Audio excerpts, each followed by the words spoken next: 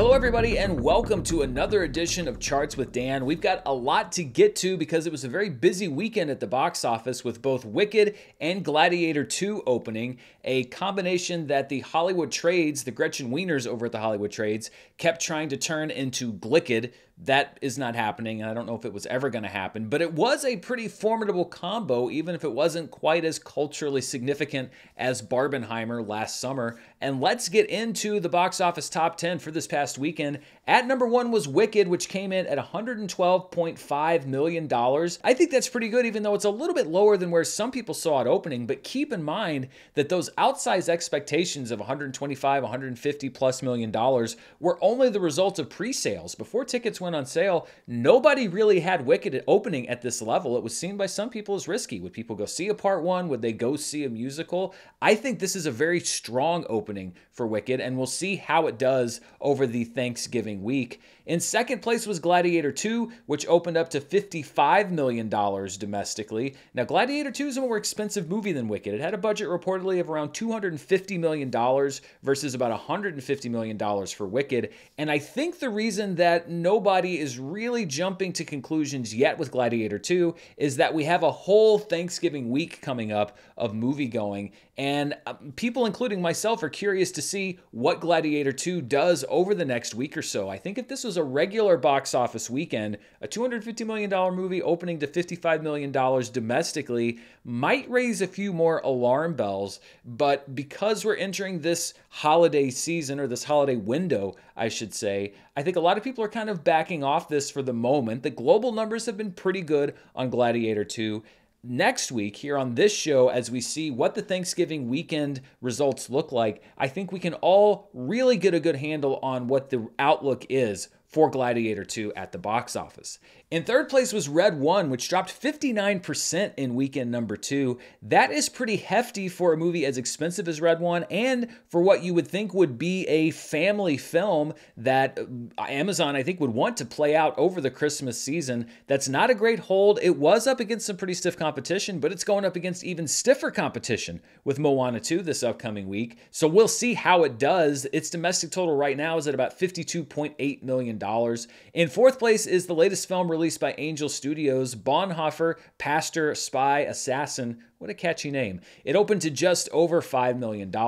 In fifth place was Venom The Last Dance, which dropped 47% in weekend number five with a $3.8 million total. Its domestic total is now at 133.7 million. The best Christmas pageant ever had a pretty good hold. It dropped 35% for a $3.4 million total. Its domestic total now over $25 million. Heretic had a steeper drop. It dropped 55% after shedding a lot of theaters. We'll look at that in just a few minutes. It made $2.2 million million. Its domestic total now just under $25 million. The Wild Robot spends a ninth weekend in the top 10. It dropped 50% for a $2.1 million weekend. Its domestic total is now at $140.8 million. Conclave is in the top 10. This movie actually shifted back into the top 10 once the actuals came in. It dropped 60% in weekend number five, it brought in another $1.1 million. Its domestic total is now at $29 million.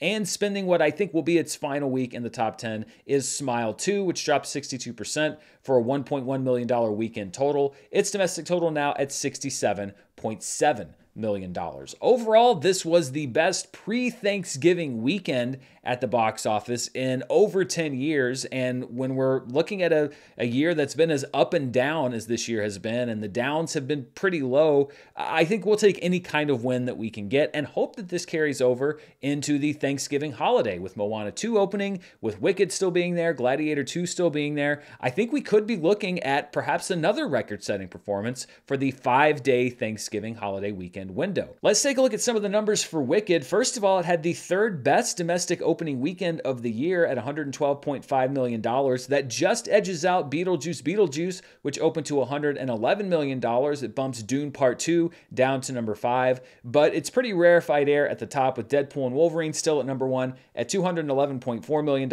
and Inside Out 2 at number 2 at $154.2 million.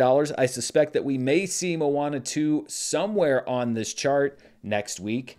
Looking at the top November openings of all time, another place where we may see Moana 2 next week. For now, unless it gets bumped out by Moana, Wicked is the 10th best November opening ever at $112.5 million. The top spot goes to Black Panther Wakanda Forever, which opened two years ago to $181.3 million. And the interesting thing to look at here is a lot of these movies, like Wicked, are part one of two. So we have The Hunger Games Catching Fire, which was the second movie. Then we have Twilight New Moon, Twilight Breaking Dawn Part 2. Then we have Twilight Breaking Dawn Part 1, which had a sequel that followed the next year. Frozen 2 comes in in sixth place. Then we have Harry Potter and the Deathly Hallows Part 1, which had a sequel that came out the next year. Thor Ragnarok is at number 8. And then we have The Hunger Games Mockingjay Part 1, which had another film that came out the next year. So, as many people as were worried, and I was one of them, about audiences not wanting to show up to a Part 1, and I think that's why they didn't put Wicked Part 1 in the title, November audiences traditionally have shown up in great numbers for Part 1s because four of the top 10 now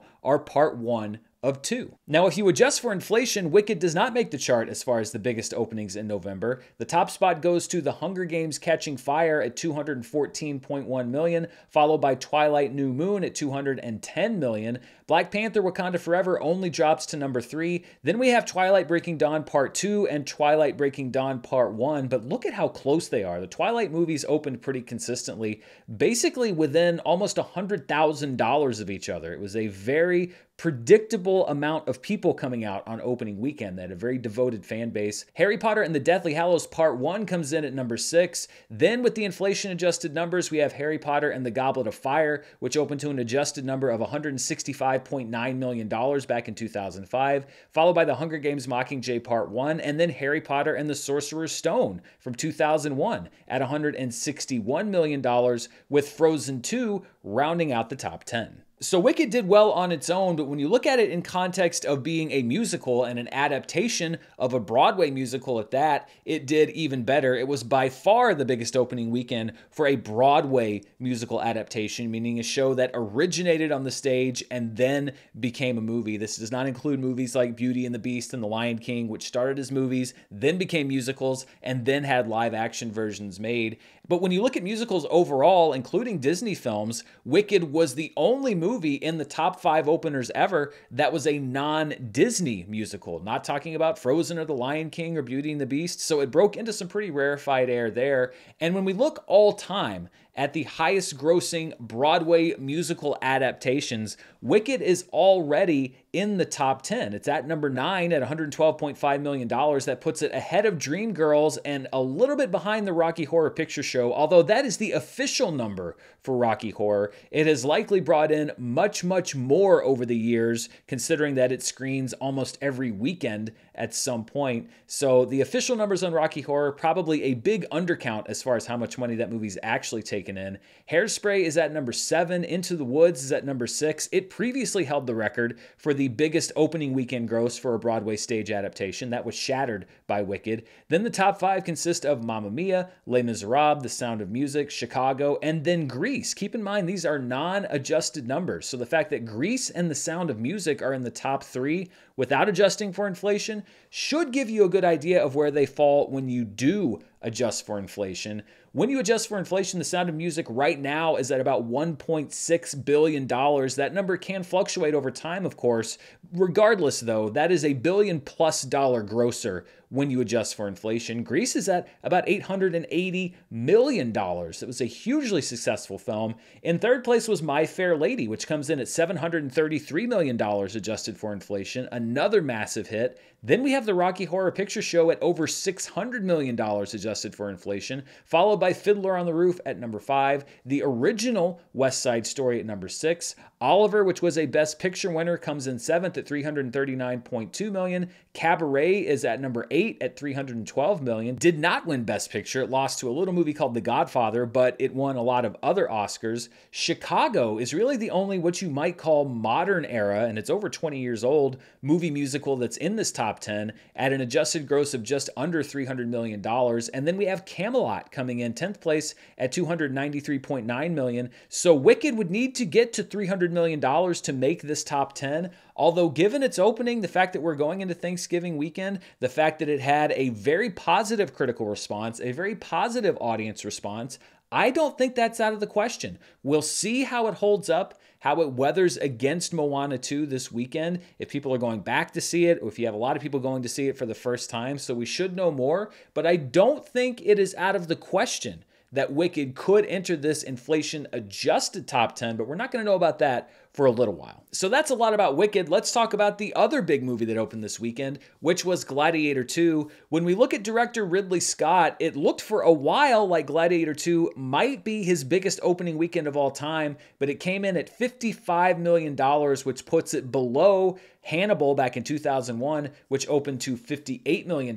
So Gladiator is number two for Ridley Scott. The Martian is his third biggest opening of all time at 54.3 million, followed by Prometheus back in 2012 at 51 million, and then American Gangster, another film he did with Denzel Washington back in 2007 at 43.5 million dollars. When you adjust those numbers for inflation, Hannibal is easily number 1. It comes in at over 100 million dollars adjusted from its opening weekend back in 2001. The Martian's at about $72.3 million from its 2015 opening. Prometheus moves up to third at 70.1 million, followed by American Gangster in fourth at 66.3 million. And rounding out the inflation adjusted list is the original Gladiator, which opened on May 5th to the 7th, 2000, and comes in at $63.8 million. Gladiator 2 was, however, the highest opening ever for Denzel Washington. $55 million comes in about $12 million ahead of his previous number one opening, which was American Gangster at $43.5 million. So, two collaborations with Ridley Scott at number one and number two for Denzel. Safe House is in third place at 40.1 million, followed by The Equalizer 2 at $36 million back from 2018, and then The Magnificent Seven from 2016 at 34.7 million. Denzel's been making movies for a long time, but when you adjust for inflation, the top five are still all pretty recent films, relatively. American Gangster is at number one at $66.3 million, followed by Safe House, which just edges out Gladiator 2, $55.2 million to 55 million. So Gladiator, adjusted for inflation, is at number three for Denzel. The only new movie here is The Book of Eli, which came out in 2010, which comes in at 47.4 million. And then we have The Magnificent Seven from 2016 at $45.6 million. So, as I alluded to earlier, a lot of the reporting around Wicked and Gladiator 2 was trying to draw a comparison to Barbenheimer, Barbie and Oppenheimer, which opened last summer. And I think that the reason that they tried to do that, it wasn't just that there were two movies that were opening on the same weekend, it was that there were two movies, one of which was targeting a female audience, one of which was targeting a male audience, that were opening and really kind of complementing each other and lifting the overall box office to some pretty good heights. And let's look at the comparison as far as demographics between these two films because at first glance, it does appear somewhat similar to what we saw with Barbenheimer. First of all, when we look at Wicked, which is in purple there, and Gladiator 2, which is in brown, Wicked's audience split as far as men and women was 72 28. So 72% of the audience for Wicked was women, 28% was men. With Gladiator, the audience was 40% women and 60% men. Then when we look at under 25 versus over 25, 30% of Wicked's audience was under 25, but 70% was over 25, so drawing a much older crowd than even I would have anticipated. Whereas for Gladiator 2, no surprise really because it was an R rated film, 21% of the audience was under 25 versus 79% of the audience over 25. And those age demographics, I think, is where you can draw a very stark difference between the audiences that showed up for these two films and the audiences that showed up for Barbie and Oppenheimer. So let's look at the demographics for all four of those films side by side. So here we have Wicked in purple, Barbie in pink, Gladiator 2 in brown, and Oppenheimer in black. Let's take a look at Wicked versus Barbie first, and the gender split on those two films was nearly identical. 72% of the audience for Wicked was women versus 71% for Barbie. 28% of the audience for Wicked was men versus 29% for Barbie. However, when we compare Gladiator 2 and Oppenheimer, they're a little bit different. Women were 40% of the audience for Gladiator 2 versus 35% for Oppenheimer, and men were 60% of the audience for Gladiator 2 versus 65% for Oppenheimer. So Oppenheimer, even though it wasn't a big action movie necessarily, drew slightly more men on its opening weekend than Gladiator 2 did, but still not that different, only a 5% difference. This, though, is where the big difference lies, and that's the age demographics. So let's start with Wicked and Barbie. Wicked's audience was 30% under 25, whereas Barbie's was 57% under 25. So obviously, Barbie was much more appealing to younger moviegoers than Wicked was. As far as Gladiator 2 goes, 21% of the audience was under 25 versus 40% under 25 for Oppenheimer. So Gladiator 2 also skewed older. Looking at the over 25 audience, 70% of the Wicked audience was over 25 versus 43% for Barbie. 79% of Gladiator 2's audience was over 25 versus 60% over 25 for Oppenheimer. So a lot of the coverage that I've read has looked at just the gender divide and said, oh, well, this is a replication of what Barbie and Oppenheimer did. But that's actually not the case. Yes, you did bring in a similar percentage of men versus women, but the major difference, and it's a stark difference if you look at these numbers, is that this was a box office phenomenon, if you will, that skewed much, much older, certainly than Oppenheimer, and most definitely than Barbie. And I think when you're looking at the long term effects of this, I think this actually works in the favor of longevity for both Wicked and Gladiator 2 because we've seen time and time again that younger audiences tend to go to the movies sooner and older audiences tend to go to the movie later. Now, over 25 isn't ancient, but I think that it does bode well for the fact that we may have a significant chunk of the audience that has not yet gone to see either of these two films. And I'm going to be very curious to see how they both hold up over the Thanksgiving week because if they'd skewed super young, I might think that they were both a little bit front loaded. However, the fact that they skew older to me says there may be a significant amount of gas left in the tank for both of these movies. And Wicked's box office was the subject of the question that I asked members of the channel here last week. Now, in retrospect, this looks like a crazy question, but I said, Will Wicked break Beauty and the Beast domestic opening weekend record for a musical? Some people said that should be The Lion King. I get that actually. I understand that. It doesn't really matter though, because it didn't come close to $174.7 million, which was the opening weekend record or second place record, if you will, that was set by Beauty and the Beast. Only 19% of respondents, and I actually checked these numbers as of Friday before the numbers started coming in, said that Wicked would make more than Beauty and the Beast. 81% said it would not, and those people were correct. So for this upcoming weekend, for this Thanksgiving weekend, I'm going to ask another question. I'm going to ask you all to predict what's going to happen at the weekend box office. And the question is this it's not necessarily whether Moana 2 is going to break the five day Thanksgiving weekend opening record, because it seems fairly certain that it will. But we're going to add in a little bit of a wrinkle and adjust for inflation. So my question is, Will Moana 2 break Frozen 2's inflation adjusted five day Thanksgiving weekend record of $154.3 million? So basically, the question is Do you think that in its first five days of release, from this Wednesday to Sunday, that Moana 2 will make 154 $0.3 million. Now, if you want to vote on this question, you have to be a channel member. Uh, depending on how you're watching, you may f- see a button that will allow you to become a member, or there's a link down in the description below. And I've loved being able to engage channel members like this, get them to vote on these questions. The answers are always interesting. Uh, so if you would love to become a member, it's a very low monthly price. You also get free custom badges and custom emoji. And if you want to vote on these polls every week, I'd love to have you because the more people that chime in, the better idea I get of what you out there think about what we talk about here every week. So that's all I've got for Wicked and Gladiator 2. Just a couple more notes for movies that are in the top 10. First of all, looking at the highest 2024 non franchise grosses. And what I mean by that, movies that are not connected in any way to any prior TV or film property. Red One has moved up to number eight on this list at $52.8 million. So it's moved ahead of both Challengers and Trap. And we'll see how far up it goes. Plenty of people last week said that Santa Claus should not count as a non franchise property because Santa Claus has been featured in in movies and TV shows before.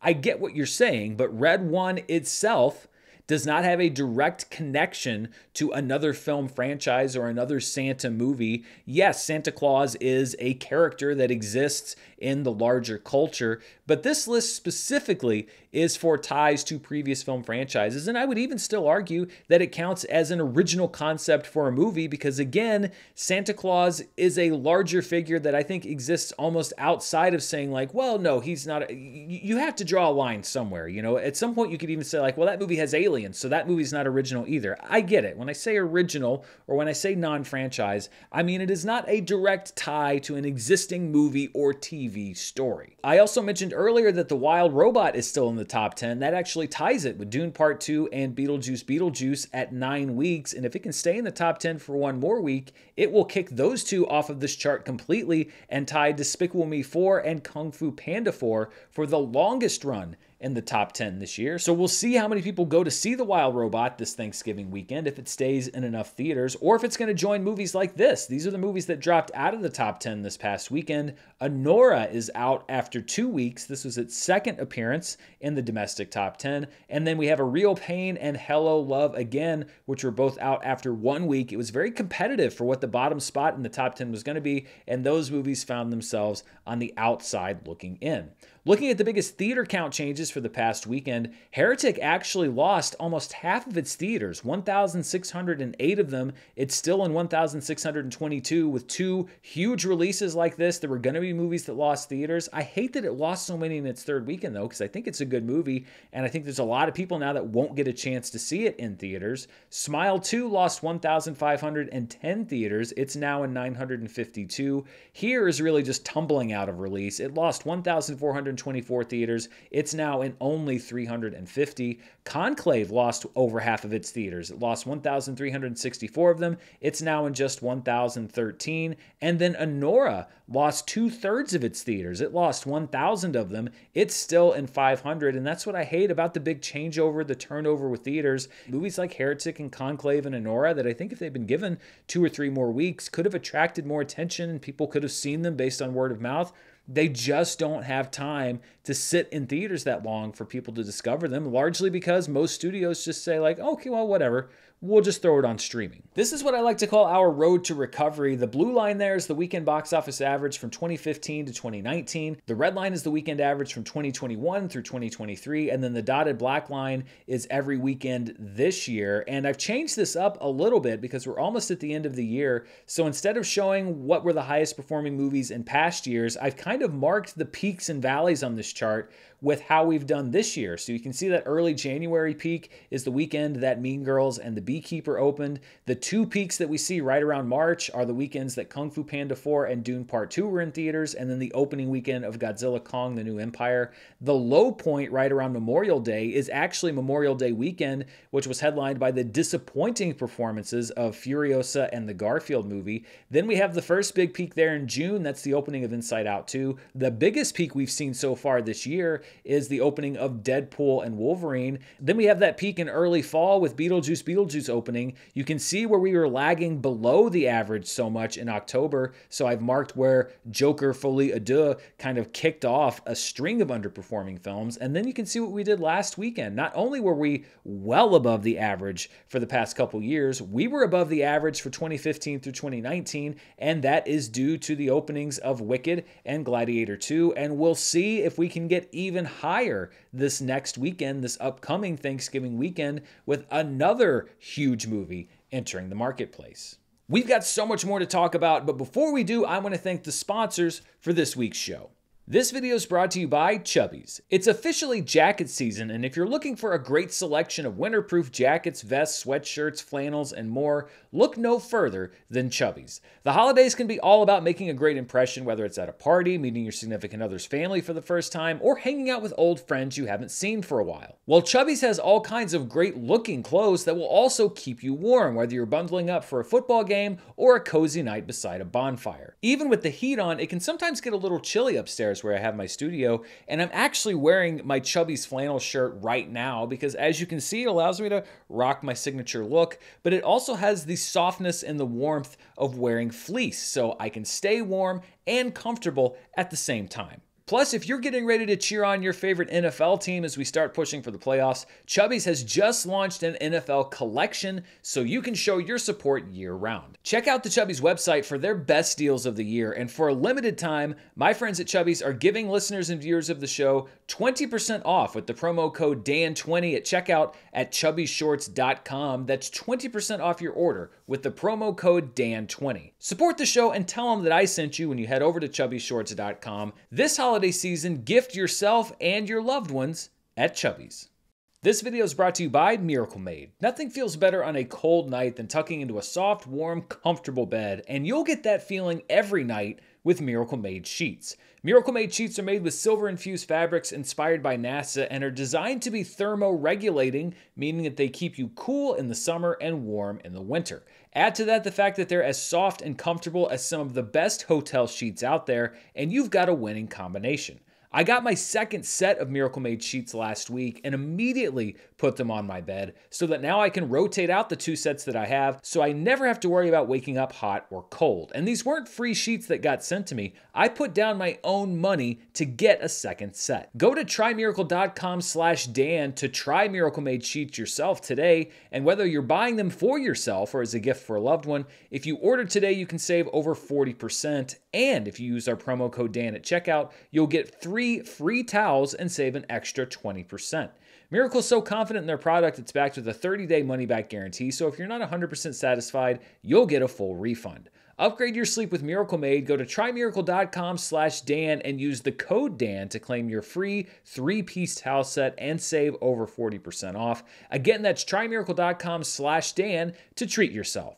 Thanks to Miracle Made for sponsoring this video. Let's step away now from the domestic box office and look at the top five films internationally. So, this is all markets outside of the US and Canada. And Gladiator 2 actually takes the number one spot, but just barely by less than half a million dollars at $50.5 million.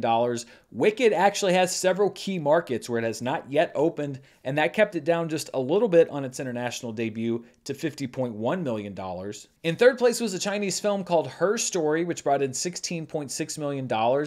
It's about a woman who moves to a new town after losing her job and befriends another woman next door who's also struggling. In fourth place was Red One at $8.7 million, and then rounding out the top five internationally was an anime film from Japan called Crayon Shin-Chan the movie Our Dinosaur Diary. Apparently this is the 32nd movie in this anime series. It opened in Japan back in August. When you take those international numbers, you combine them with our domestic numbers, we get our top 5 films worldwide and Wicked is number 1 on this list at 162.6 million dollars. That's just a little bit behind and off the pace for the top 5 worldwide openings of the year. It comes in about 10 million dollars behind Venom the Last Dance for that number five spot. We'll see how it does as it continues to expand into new markets. Gladiator 2 had an increase of 21.3% because we added in its domestic opening, so it has a $105.5 million worldwide weekend. Its total worldwide gross is now at $220.3 million.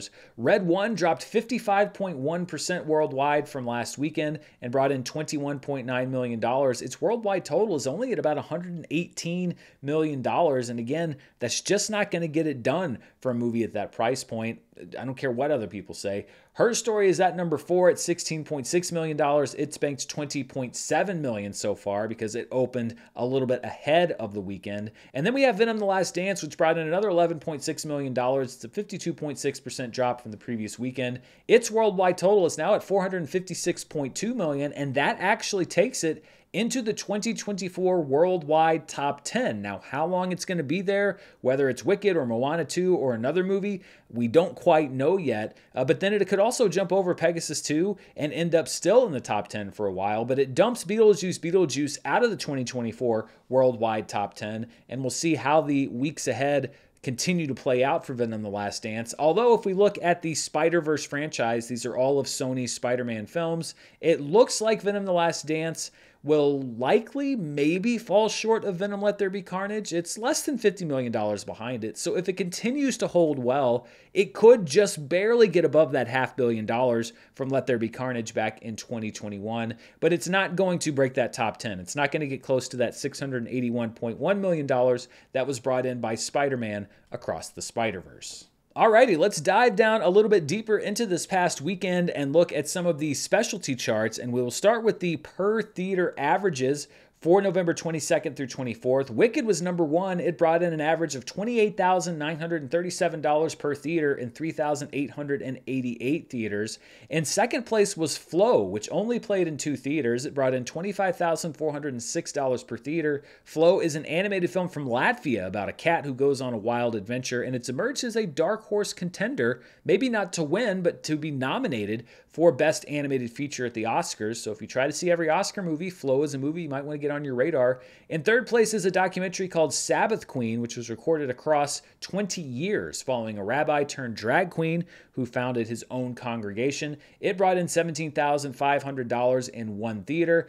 Then we have Gladiator 2, which brought in $15,403 in each of its 3,573 theaters on average. And then playing in one theater was the documentary Porcelain War which brought in $11,370. Looking at the top films in limited release, which I define as 1,000 theaters or fewer, is a pretty quiet weekend on this box office circuit. At number one was the live stream of Tosca from the Metropolitan Opera, which brought in just over a million dollars. Then we have Hello Love Again, the film from the Philippines that had a fantastic opening last weekend. It brought in another $931,000. It lost just four theaters from its opening weekend.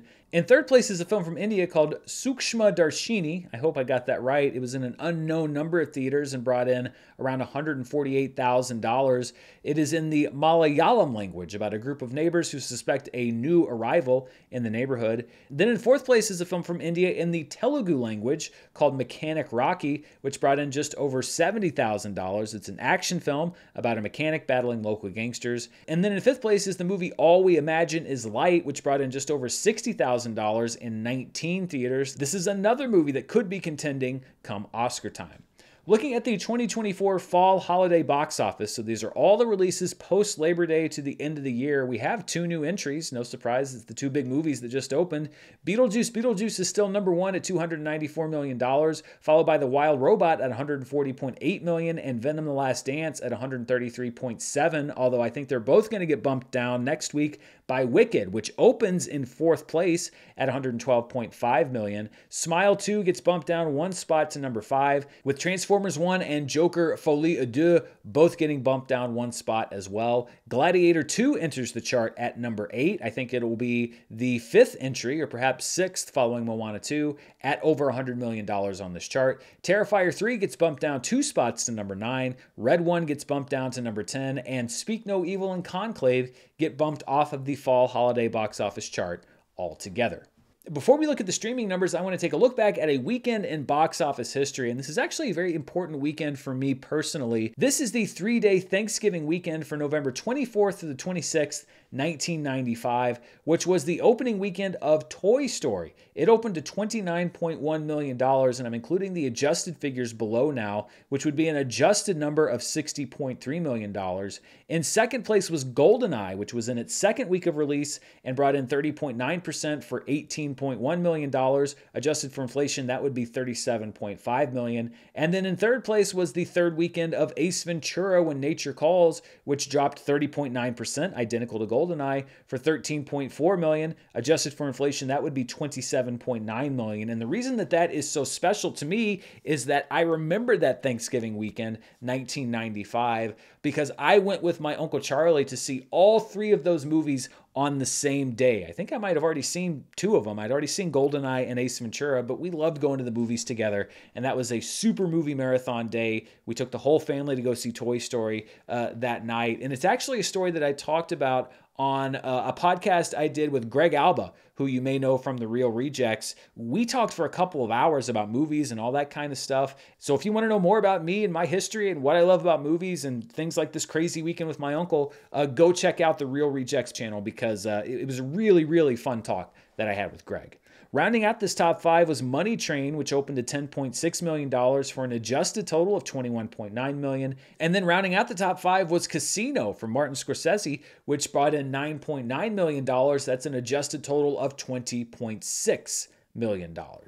And one of the reasons I'm putting the adjusted total on that graphic now is because I also like to ask trivia questions, and I'm starting to fold in some trivia questions to the box office flashback segment. And this one is tied with Toy Story, which was the first Pixar film to hit theaters.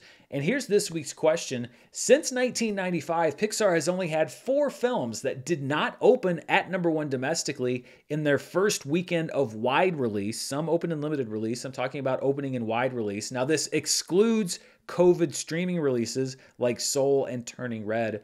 What are those four films? I'll give you a minute to think about it. Pause the video if you want to. What are the four Pixar films that did not open at number one domestically in their first weekend of wide release? And here come the answers. One of them was Lightyear, which opened at number two behind the second weekend of Jurassic World Dominion. Another one was The Good Dinosaur, which opened at number two behind the second week of The Hunger Games Mockingjay Part 2.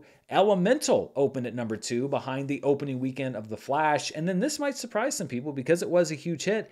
Inside Out actually did not open at number one. It opened at number two behind the second weekend of Jurassic World, but then went on to do very, very well at the box office. I think that Inside Out is the only movie of these four that you could say was an absolute bona fide box office success, even though Elemental did well in the weeks and held on well. It didn't quite reach the height of a movie like Inside Out. So that's what I have as far as the box office. Let's take a look quickly before we go at the streaming numbers. And we're going to start with the latest numbers we got from Netflix. We're going to get some new ones later today, but this is especially interesting because we have the numbers from the Jake Paul Mike Tyson fight, which was a supremely disappointing live event, both on an execution standpoint from the fighters and also because Netflix obviously did not quite have the technical capabilities to consistently stream uh, a an event of that size. They've really got to get uh, their game together and their act together before they start doing WWE and NFL stuff in the coming weeks and months.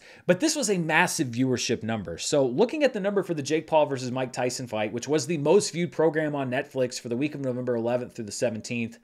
224.8 million hours watched for a total view time of 46.64 million views. That's one of the biggest numbers I've ever seen on the Netflix charts. And keep in mind, that's not necessarily the number of people that watched the Jake Paul Mike Tyson fight itself. That's the number of hours watched divided by the total length of the event, which I think was over four hours. It's likely that a substantially higher number of people didn't watch the rest of that and only watched the Jake Paul Mike Tyson fight. That could have been 60, 70, 80 million people. But the official number from Netflix, as far as Hours watched versus the entire duration of the event is 46.64 million, and we'll look at that number a little bit closer in just a second.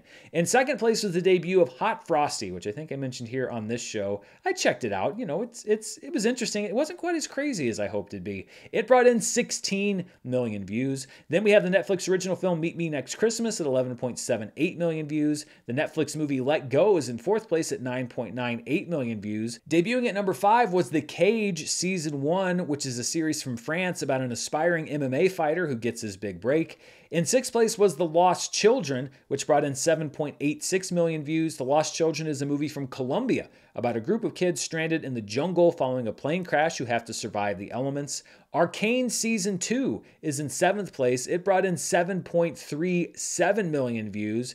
This was for the second act of Arcane Season 2. The third act was just released. I know I said I was going to review those. Uh, life can get kind of crazy, but I still do want to talk about the second season because I thought it was very interesting. A bit of an up and down season. In eighth place was the return of Cobra Kai Season 6. This was its latest drop of episodes. It comes in at 7.367 million views. Then we have Minions The Rise of Gru at 6.96 million views, and Alita Battle Angel rounding out the top 10, two films that were not Netflix originals at 6.2 million views. And I mentioned that huge viewership number for the Jake Paul Mike Tyson fight. As far as debuts, and we're talking about in millions of views for any programming this year, Jake Paul versus Mike Tyson takes the cake. It's 46.64 million views over its first week and really first day or two of release is bigger than the number of people that watched Bridgerton season 3's debut at 45.05 million views. Beverly Hills Cop Axel F is in third place. It brought in 41 million views in its first week. Under Paris is in fourth. It brought in 40.91 million views its debut week. And then Fool Me Once is in fifth at 37.13 million views on its debut week. And as far as total weekly views, regardless of when something was released, Jake Paul versus Mike Tyson brought in the second most weekly views. It does come in, however, behind the second week of release for Damsel. Damsel brought in 50.85 million views in its second week. That's better than Jake Paul versus Mike Tyson at 46.64 million. We'll see what those numbers are this upcoming week. It's going to be interesting to see whether these live events from Netflix are heavily, heavily weighted towards when the event is actually happening or how many people might go back afterwards and watch it. And I think Netflix is going to be interested in seeing those numbers too, as will the executives at NFL and WWE. The third best weekly view number was Bridgerton Season 3's debut at 45.05 million views, followed by Beverly Hills Cop's debut at 41 million views, and Under Paris in its debut week at 40.9 million views. Let's move on now to the numbers from Nielsen. Now, these are not global numbers as we see with Netflix. These are domestic numbers only, and they're delayed by about a month because that's how long it takes Nielsen to crunch all this data. And we'll start with the top 10 streaming movies for the week of October 21st through the 27th. So, as we approach Halloween, at number one was the Netflix original film Woman of the Hour at 10.8 million hours watched, followed by Kung Fu Panda 4, which debuts at number two at 8.3 million hours watched, and then the Netflix original film Don't Move, which opens at 7.5 million hours watched in third place. Then we have Sing at number four, Inside Out 2 at number five, The Nightmare Before Christmas, no surprise as we head to Halloween at number six, Trap's debut on Max comes in at number seven at 3.9 million hours watched, followed by Bad Boys Ride or Die at number eight. Hocus Pocus returning to the chart, no shocker there, with 3.6 million hours watched at number nine. And then the Netflix original film The Shadow Strays at number 10. Looking at the most watched streaming shows for October 21st to the 27th, The Lincoln Lawyer is at number one with 33.8 million hours watched, but Lost moves up to number two. It, I think, rotated back onto Netflix, and a lot of people watching that show 17.2 million hours watched. Bob's Burgers comes in third place, followed by Love is Blind and Grey's Anatomy. Family Guy is in sixth, followed by Bluey at number seventh. The Tyler Perry series Beauty in Black debuts on the chart at number eight at 12.3 million hours watched, followed by SpongeBob SquarePants at number nine, and hitting the chart again, a perennial favorite, NCIS at 9.85 million hours watched. These are the top 10 Nielsen shows as far as watch time per available episode. So when you take the total number of hours watched and divide it by the number of episodes that are available to watch, at number 1 was the Netflix docu-series This is the Zodiac, which brought in 2.11 million hours of watch time for each of its 3 episodes. Then we have Beauty in Black. It had 8 episodes available that week for 1.54 million hours watched per episode. In third place was Escape at Dannemora, which I believe originally originally was a Showtime series. It came out a couple years ago. It hit Netflix and brought in 1.2 million hours watched per episode. Then we have Territory on Netflix, which brought in 1.19 million hours watched per episode, and The Lincoln Lawyer, which brought in 1.13 million hours watched per episode. So five shows there in that top five above 1 million hours watched per episode. That's pretty good. Monsters Lyle and Eric Menendez comes in at number six, followed by Tulsa King at number seven, Outer Banks at number eight, Only Murders in the Building at number nine, and Love is Blind at number 10. Agatha All Along, once again, did not make the overall Netflix top 10 as far as original programming, so I don't have the number for it as far as watch time per episode. I think last week I said that this would have been the finale week, the 21st to the 27th. That's not true. This next week that we're going to talk about, which would be the last week of October, would be the Agatha finale week, and it had two new episodes. So I think it's very probable that we will get to see Agatha all along on these charts one more time, but we'll have to wait and see what the numbers say next week. A couple of quick adjustments to the 2024 most watched streaming series overall. First of all, when we look at the most watched library streaming series, so non original shows, Bob's Burgers moves up into the top five. This show has really come on strong along with Family Guy because of an adjustment in measurement that allowed Nielsen to measure the watch time on Hulu shows more accurately. Bob's Burgers now at five. That moves Young Sheldon down to number six. The rest of the top 10 remains the same, and we'll see if there are any shows that have that momentum to enter the overall most watched streaming series of the year. And looking at the most watched original series of the year, the top five remains the same Bridgerton, Love is Blind, Fallout. The Boys, and Fool Me Once. But Monsters, the and Eric Menendez story, moves up to number six, moving Evil down to number seven. And that wraps up the show for this week. As we enter the Thanksgiving week here in the US, there are a few options that are hitting theaters. The big one, of course, is Moana 2, and we'll see if it can continue to rewrite the record books. We had a great pre Thanksgiving weekend. Let's see what the Thanksgiving week looks like at the box office opening in limited release are a few films that I think are of interest for people that like to follow the awards scene. First of all is The Seed of the Sacred Fig, which is from Iranian director Mohammad Rasoulof, who had to flee to Germany actually following news of this film's release. It's about a judge in Iran who finds that his family life and the obligations, what the government expects him to do, are in direct conflict. Germany is submitting The Seed of the Sacred Fig as its film for the Best International Feature at the Oscars. The film also received a special award at the Cannes Film Festival. Opening in limited release is a film called Maria, although you'll more likely see it when it hits Netflix on December 11th. This is from director Pablo Larraín, whose last film was El Conde. I believe that picked up an Oscar nomination or two. Angelina Jolie plays opera singer Maria Callas, and it's meant to be the last of a trilogy of films for Pablo Larraín, profiling prominent women in the 20th century. The first two movies were Jackie and Spencer. Both of those films led to Best Actress nominations for their leads Natalie Portman for Jackie, Kristen Stewart for Spencer, and Angelina Jolie is getting some hefty buzz as well for the Academy Awards. So we'll see if Maria can make it three for three. And then opening in limited release on Wednesday is Queer, which is from A24. It's the second film this year from director Luca Guadagnino after Challengers. Daniel Craig plays an expat American living in Mexico who becomes fascinated with a younger man played by Drew Starkey. I've actually had a chance to see this because I am part of a few different critics groups. I have to say, Daniel Craig is really good in this movie. It opens in limited release this week, it goes wide on December 13th. And that's all I've got for the show. A bit supersized because we had so many numbers to go over, and I expect a similarly supersized show next week as we go over the Thanksgiving box office, what Moana 2 does here domestically as well as around the world. How does Wicked hold up? How does Gladiator 2 hold up? There are so many questions to answer and fun numbers to crunch. It's fun for me at least. Thank you so much for watching the channel. I'll be back a couple more times this week with some other videos uh, before the Thanksgiving holiday. And of course, right back here next week with the latest numbers.